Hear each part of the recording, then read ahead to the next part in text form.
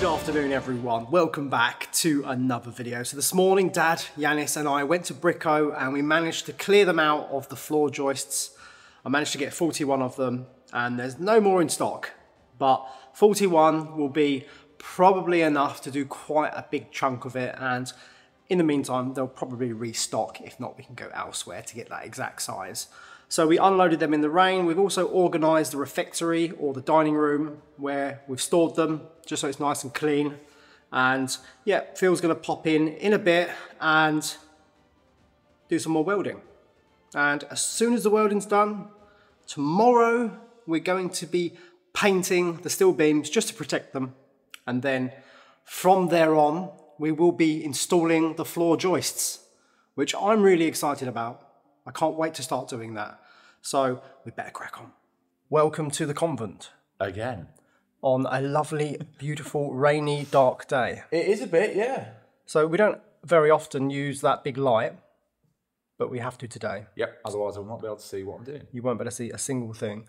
Um, so today we're going to finish the welding, hopefully. Yes, yes, we are. And then as soon as that's done, tomorrow we'll be painting. And I believe from Monday, or maybe the weekend, I don't know if I'm working on the weekend or not, the floor joists are going in. Again, that sounds like a you problem, not me problem. That is, a, it's, it's never a problem, Phil. so I've been to Brico with Yanis and Dad this morning, and we've unloaded and we've got all of the floor joists. Total cost about fifteen hundred euros. Um, yeah, just so people know what the price of timber is. They are twenty twos by seventeen by four meters. Wood is not cheap in France. No, but it's necessary. Yes, it is. So I'm gonna let you crack on, mate. Thank you. And if you've got any issues, give us a shout. It's dark and scary. It's always dark and scary here, mate. and there's a fire extinguisher behind that door. Don't set the convent alight, If okay? I manage to set fire to a metal beam, I'm doing well. Okay, good man. So I failed to mention earlier that tomorrow, Paddy the carpenter is coming to the convent and he is delivering, delivering, I can't even speak properly, um, either the main door for the convent or the back door. I'm not sure what he's done first or if he's actually, if he's just bringing the frame first or just the doors. I'm not even sure. But he's coming tomorrow and he's delivering something, but I know it's either one of them. If that makes any sense. So I'm excited about that. I'm not excited about paying for it, but nevertheless, I'm excited. It will also eliminate the huge gaps under each door because if you remember, we exposed this beautiful granite floor because it was covered in about 10 centimeters of concrete. That's why the threshold is now lower. But as soon as those doors are fitted, we could do the ceiling, finish this section. Paddy's also making the doors for here and here. They should be ready soon as well. So it means we can finish this hallway, get it all done and nice. And I suppose we could use one of the other entrances to bring in material so we don't ruin the new doors or the work that we've done in this room.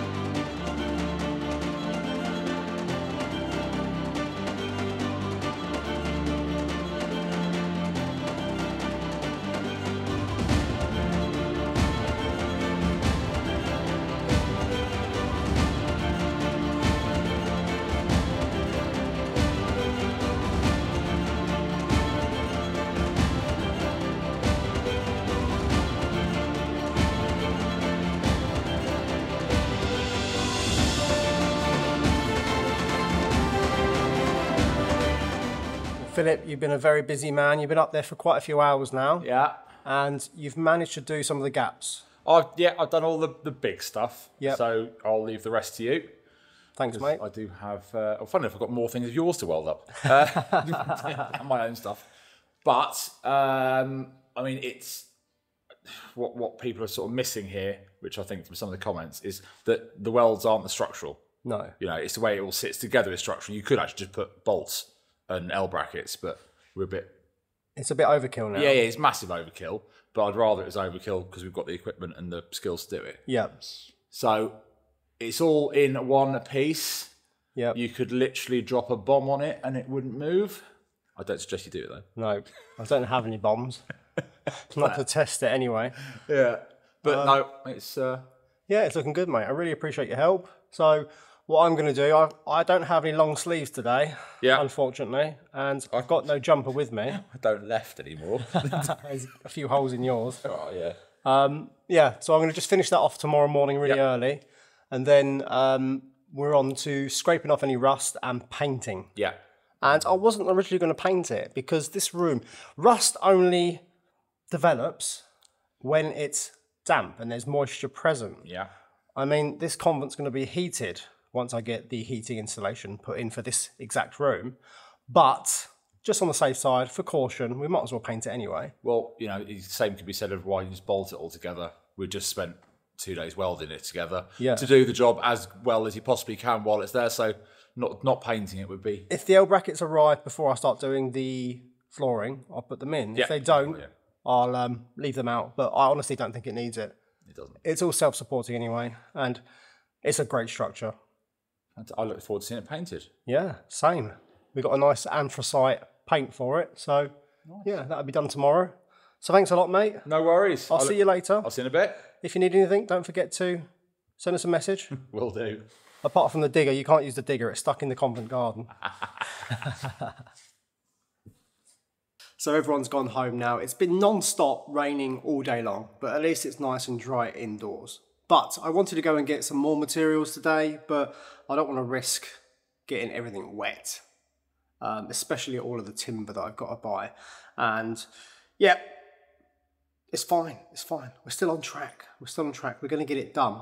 As soon as the welding's finished and it's all painted, protected from the rust, I'm going to start doing all of the flooring.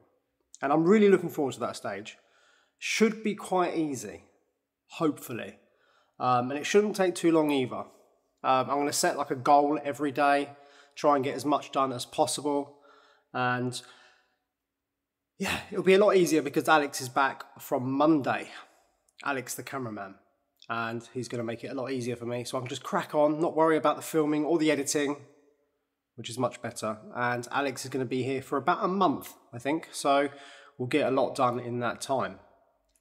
Um, so yeah, we've had a good clean up today. We've got most of the important things. So we're still on track. And thank you to Philip for helping me with some of the welds. Um, it's just so strong now. It's unbelievable. But I'm going to finish it tomorrow and then it's all going to be done. So there we go, everyone. Thank you so much for watching this video today and I'll see you all tomorrow.